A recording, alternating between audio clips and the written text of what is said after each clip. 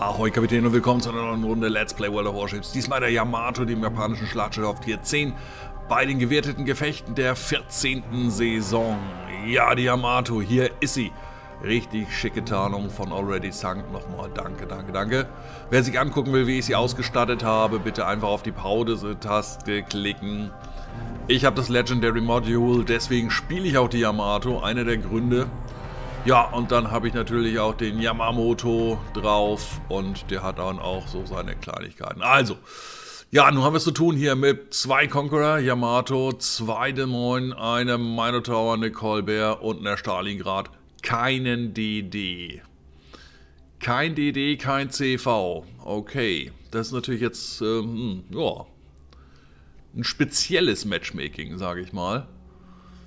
Ja, müssen wir mal schauen, was wir da mit der Yamato jetzt hier machen können. Also, ich bin nicht wirklich ein Freund davon, jetzt hier so die Achterlinie durchzupreschen und äh, da irgendwie die anderen überraschen wollen. Also, ist nicht so meins.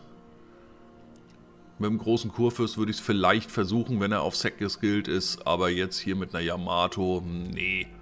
Mit der Yamato muss ich einfach sehen, dass ich so ein bisschen mehr ja, hm, genau, ein bisschen mehr die Position habe, die der da gerade angepinkt hat. Also irgendwie nicht so wirklich nah ran, aber auch nicht wirklich weit weg.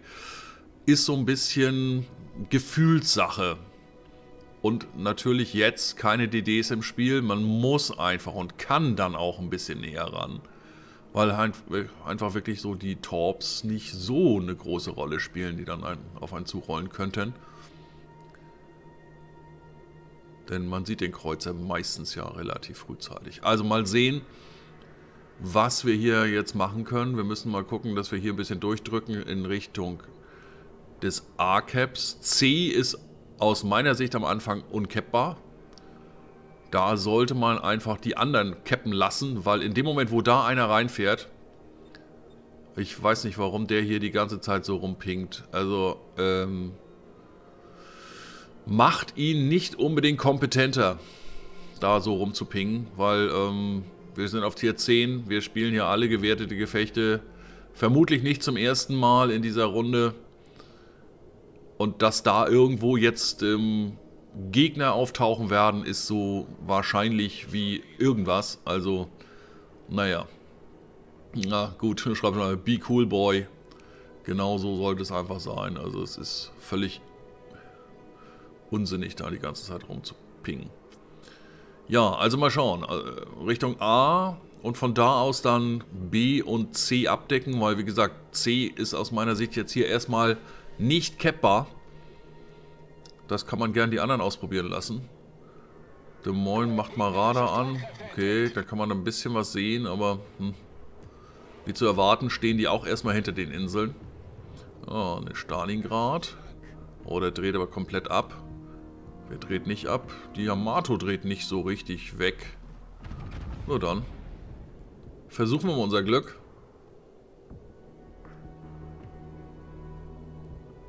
Und ich muss natürlich sehen, dass ich jetzt irgendwie einen Winkel auf diese Des Moines bekomme. Na, okay. Knapp 10.000. A haben wir jetzt, die anderen haben B. Die haben leichten Vorteil, weil sie etwas schneller cappen konnten als wir. Na, so, Stalingrad, ne, weg ist sie. Da ist die Yamato auch wieder. Na, immer noch so auf dem gleichen Kurs und dann versuchen wir es doch nochmal. Bisschen weniger an so einer Yamato dran ist auch nicht weiter schlimm. Ah, da ist die Colbert, na und da. 21.300, jupp, das passt. Ja, nun muss ich ein bisschen nach oben ausweichen, denn man sieht's, da ist die Minotaur. Na komm, komm, komm, komm. Jetzt. Na, na, na, nachladen, nachladen, nachladen. Jo, und raus. Und da ist sie auch schon zu. So, was jetzt ein bisschen unglücklich ist, ist, dass ich zusammen hier mit dieser Conqueror bin. Ich weiß gar nicht, warum der jetzt da, aber gut, okay. Ich werde mal sehen, dass ich mich ein bisschen von dem entferne. Drei Durchschläge nur auf die Mino. Hm. Also wenn wir beide aus derselben Richtung schießen, ist das einfach Unsinn. Wir müssen einfach sehen, dass wir jetzt irgendwie hier so ein, so ein Kreuzfeuer aufbauen. Das ist für die gewerteten Gefechte das A und O. Kreuzfeuer der Schlachtschiffe.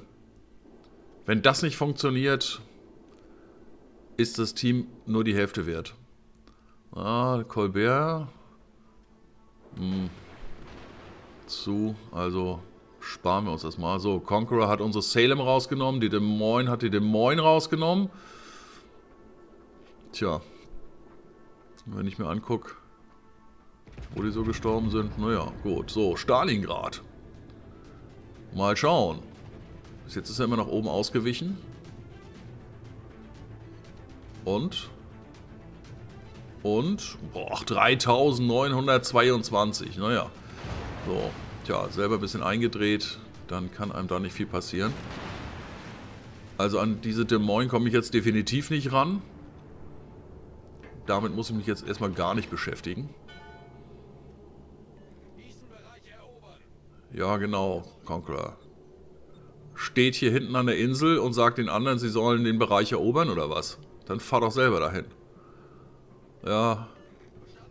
Genau. Be cool ist die richtige Antwort. Wer hier versucht, C zu cappen, verliert ein Schiff. Mindestens eins. Also C ist dann cappbar aus meiner Sicht, wenn man wirklich sagen, oh, entdeckt, wenn man wirklich sagen kann, oh, und gleich zielen noch schon wieder vier. Ja, Stalingrad ist mit dabei. Ich werde mal sehen, dass ich hier ein bisschen rausdrehe. Fünf Zielen, wow. Jo. Das kann nur die Meinung sein. Da ist die Meinung. Oh, na komm, komm, komm, komm, Türme. Ach komm, das ist immer wieder der, ja, so Venezia. Und nu, wo soll ich hin? Ich kann mich nicht in Luft auflösen. Wieder nur zwei Durchschläge. Wow. Jo, das passt aber sehr gut. So. Ah, die Des Moines schafft es jetzt offensichtlich doch da zu cappen. So, jetzt braucht er aber definitiv Unterstützung. Weil von der anderen Seite kommt ja auch dann gleich Radar. Also mal sehen. Flieger starten. Der rutscht wahrscheinlich nur ganz langsam jetzt nach vorne, weil er ganz vorsichtig sein will. Ah, 9768. Ah, was machst du? Da fährt er wieder ein bisschen ran. Der Venezia, du kannst hupen, wie du willst. Ich kann mich nicht in Luft auflösen. Geht einfach nicht. Ja, der kommt wieder nach vorne. Ganz wenig. So, mal sehen. War zwar das Inselsymbol, aber einfach mal ausprobieren. Muss ja nicht unbedingt alles hängen bleiben. Wow, bleibt aber alles hängen. So, tja, und jetzt haben sie mich hier auserkoren. Alle zielen auf mich. Bin ja auch wahrscheinlich der Einzige, der hier wirklich zu sehen ist. Ja, da kommt es wieder von der Meinung. So, Flieger habe ich ja noch oben.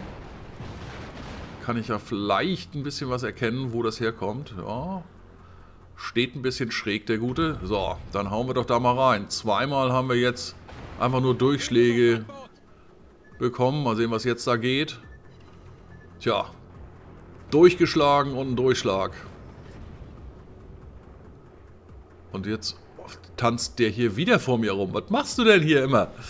Okay, so. Des Moines gegen Des Moines. Oh, oh, oh, oh. Conqueror fährt da raus. Was haben wir denn da alles? Jetzt kommen sie da alle von der Seite. Oh, da ist die Mino wieder. So, du fährst doch gleich an, oder? Ja, klar fährst du an. Ordentlich weit vorhalten, weil der springt quasi doch nach vorne. Also so eine Minotaur fährt halt sehr, sehr schnell an. Mal gucken. Und wieder zweimal durchgeschlagen. Der hat aber auch, äh, ja, gut. Hat ANG einfach für sich gepachtet. Tja, wir haben inzwischen zwei Kreuzer verloren. Wir sind hinten. Die anderen cappen jetzt A. Das werden wir mal natürlich mit verhindern. Einfach die Yamato ein bisschen anschießen. Oh, mal gucken. Oh, jetzt haben wir unsere Des Moines auch noch verloren. Jetzt haben wir drei verloren. Ja, nun kippt's hier wohl. 6-8. Hm. Das ist jetzt nicht schön. Also wir müssen sehen, dass die A nicht bekommen. Aber das wird auch wieder schwer. Aber oh, mal gucken. Der Yamato geht es gar nicht mehr so richtig gut. Oh, bleibst du da stehen. So dann. Oh, da hat er schon vom Conqueror eingekriegt und den Rest kriegt er von mir. Jo, weg ist die Yamato. So, jetzt ist die Stalingrad nur zugegangen. Der wird auch jetzt nicht mehr schießen. Oh, Conqueror, ehrlich. Wer soll denn auf den da hinten jetzt schießen? Von uns, die wir hier alle hinter... Also, mein Gott. Spotte einfach mal die Stalingrad, fahr da näher ran und dann können wir da auch was tun. Das ist sinnvoller, als da irgendwelche Ziele anzusagen, die völlig hirnlos sind. So, da ist die Stalingrad. Ja, jetzt hat er aber A dann doch bekommen. Die anderen haben inzwischen auch drei verloren. Davon zwei Schlachtschiffe. So, jetzt wollen wir gucken, dass wir hier mal ein bisschen Druck machen können. Radar von der Des Moines, die offensichtlich jetzt hier C capped. Tja, die anderen halten jetzt A und B, holen sich jetzt auch noch C. Es ist nur noch 5 gegen 5, aber die haben gleich drei Caps. Ich muss sehen, dass ich da irgendwie rankomme, um diese Des Moines aufzumachen. Aber muss natürlich auch sehen, dass ich jetzt weiterhin auf diese Stalingrad mitschieße. Ja, nee, der wird hier durchcappen. Keine Chance. Da... Jetzt haben sie alle drei Caps. Wir sind zwar noch vorne, aber das wird sich gleich ganz schnell erledigen. So. Minotaur. Hast du wieder so ein Glück? Äh, nebelt und winkelt jetzt hier auch auf mich an. Nochmal gucken. Muss doch mal eine Salve vernünftig passen. Ja genau, 1480. Wow. Ach komm, ernsthaft. So, nun muss ich natürlich hier auch schon wieder an die Torps von der Minotaur denken. Also erstmal muss diese Stalingrad da weg. Das ist der, der mich jetzt hier spottet im Zweifelsfalle. Und wenn wir den nicht mehr haben, kann der Conqueror das Cap zurückerobern. Na? Ja, genau. Nochmal 1480. Wow. Aber jetzt ist die Stalingrad raus. Wir sind aber trotzdem hinten. So, und jetzt ist der Moment hier eben gekommen. Jetzt wird es halt schwierig. Ich fahre da nicht rein. Ja, genau. Jetzt kommt hier Hydro.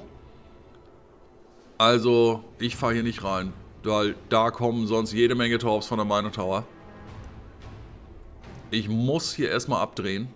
Auch wenn die dann drei Caps haben. Aber... Ja, dann fährt rückwärts. Conqueror schießt von da hinten irgendwo. Und die Mino schießt natürlich jetzt da aus dem Nebel. Aber da das so lange gedauert hat, denke ich mal, werden die Torps jetzt schon rausgegangen sein. Also nutze ich jetzt diese Insel. Hier kann er nicht hingetorpt haben. Selbst wenn er hingetorpt hat, interessiert mich das nicht. So, mal gucken, ob ich da vielleicht auf die Des. Ja, jetzt kommen hier von vorne noch Torps, okay. Wo bist du?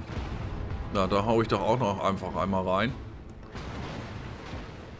Und wieder einmal durchgeschlagen. Ey, das ist unglaublich. Wirklich unglaublich. So, kann ich diesem einen Torp hier ausweichen? Nee, natürlich nicht. Natürlich trifft er den. Ah, weil ich da reinschießen wollte, habe ich eine Zeit zu gerade gehalten und dadurch habe ich jetzt den Torp gefressen. Naja, gut. Wow, die anderen haben jetzt schon deutlich über 800 Punkte.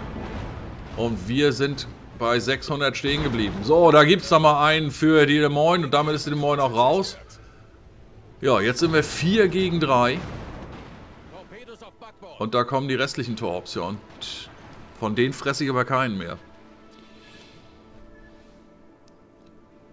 Ja, laufen jetzt auch aus. So, da hinten ist die Colbert. Da ist dann auch die Conqueror. So, Colbert, was machst du? Du machst da Druck auf die Smolensk. Okay. Also, dann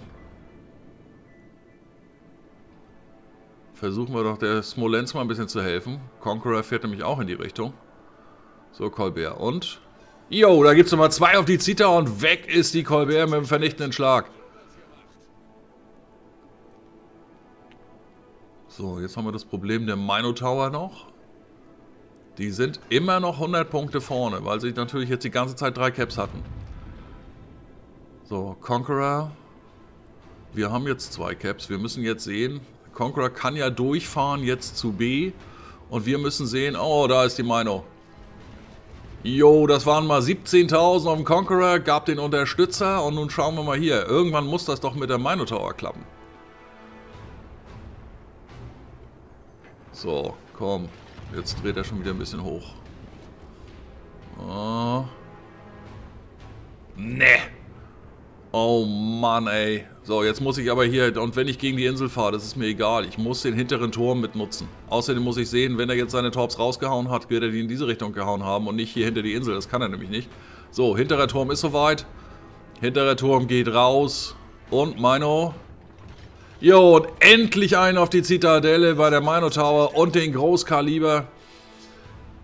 Und vorderen Türme sind auch wieder soweit. Da kann ich dem Conqueror nochmal einen Gruß schicken. Die sind aber immer noch vorne. So, und jetzt stehe ich hier ein bisschen hinter dieser Insel, aber ich finde das gar nicht so schlimm im Moment. Ich, das Einzige, was blöd ist, dass ich hier nicht wirklich rumziehen kann. Ich kann nicht wenden.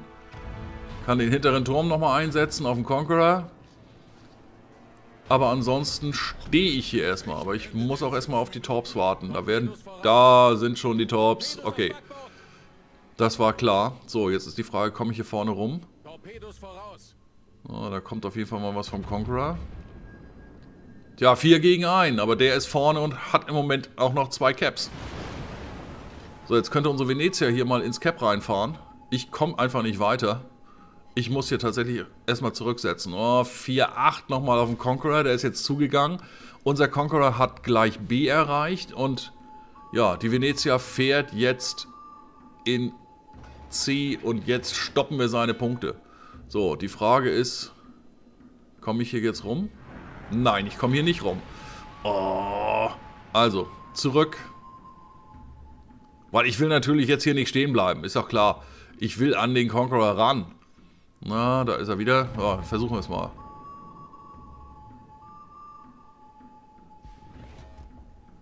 Tja, kannst im Chat jetzt Yamato schreiben, aber ich kann im Moment nichts mehr tun, als ich jetzt hier schon tue. So, der ist jetzt bei über 900 Punkten, aber das wird ihm jetzt im Moment nicht weiterhelfen. Er muss jetzt mindestens zwei von uns rausnehmen, denn er kriegt keine Punkte sonst anderweitig. Und unsere Punkte ticken. Und es sind noch dreieinhalb Minuten zu spielen. So, nochmal 5000 auf den Conqueror. Und jetzt komme ich hier auch endlich weg und jetzt kann ich da auch ein bisschen näher ranfahren. Die anderen müssen eigentlich gar nichts mehr tun. Die müssen gar nicht mehr schießen. Zugehen und gewinnen. Mehr muss man hier jetzt nicht tun. So, Conqueror. Ja, dann nimmt der Conqueror unsere Smolensk raus. Oh Mann. So, nochmal 5000. Ja, nun ist die Frage, warum hat dieses Smolensk da die ganze Zeit noch geschossen? Wie gesagt, wir, wir waren doch in Front. Jetzt sind wir natürlich wieder deutlich hinten. Aber er macht eben nur noch Punkte, wenn er diese Venezia beispielsweise noch versenkt. Aber, okay, jetzt wird wieder hier hochgeheilt durch den Conqueror. Mal gucken, ob ich ihm da ordentlich einen einschenken kann. Ah, 9-3.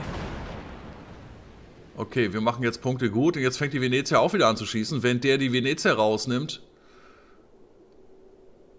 So, aber er hat mich die ganze Zeit hier aufgeschaltet. Das ist ja auch zu sehen. Ah, jetzt will er reindrehen. Ja, er will reindrehen. Okay, also. Jetzt sind wir auch wieder vorne. Conqueror ist zugegangen und die Salve läuft. Und nochmal zwei auf die Zita und das ist doch mal ein Abschlussbild. Da hat Yamamoto jetzt mal zugeschlagen. Jo, das war doch was. 198.013 Schaden bei 70 Zieltreffern, 5 zerstört, ein Brand, 5 Mal die Zitadelle getroffen, 12 Treffer mit der Secondary, 2 Schiffe aufgeklärt. Vernichtenden Schlag haben wir bekommen, Unterstützer haben wir bekommen, Kraken haben wir freigelassen und den Großkaliber haben wir hier auch bekommen. Also, wow. War eine knappe Kiste, hätte ganz, ganz anders ausgehen können, aber in dem Moment war dann auch ANG ein bisschen bei uns und dann hat das schon gepasst. 3175 Basiserfahrung. Das ist doch mal eine Hausnummer ohne gecapped zu haben. Hätte ich jetzt irgendwo noch mitgecapped, ja, wer weiß, was dabei rausgekommen wäre. Und jetzt gucken wir mal hier, 2,18 Millionen potenziellen Schaden, also versteckt habe ich mich definitiv auch nicht mit der Yamato. Und den Conqueror haben wir versenkt, Yamato versenkt, Des Moines versenkt, Minotaur versenkt, Colbert versenkt und der Stalingrad haben wir auch knapp 25.000 abgenommen. Jo, also ich muss sagen, das war doch mal wirklich ein gewertetes Gefecht, wie es richtig Spaß macht. Auch auf Tier 10. Also, ja, das spiele ich gern, sehe ich gern. Und wenn du es auch gern gesehen hast, dann gib dem Video doch einen Daumen hoch, abonniere den Kanal, wenn du es noch nicht getan hast. Schau auch gerne mal live auf Twitch rein. Den Link findest du in der Videobeschreibung. Kannst auch gleich ein Follow dalassen, wenn du möchtest. Schreib gerne in die Kommentare, was du so von den gewerteten Gefechten auf Tier 10 hältst. Was du von der Yamato in den gewerteten Gefechten hältst. Und dann freue ich mich aufs nächste Mal.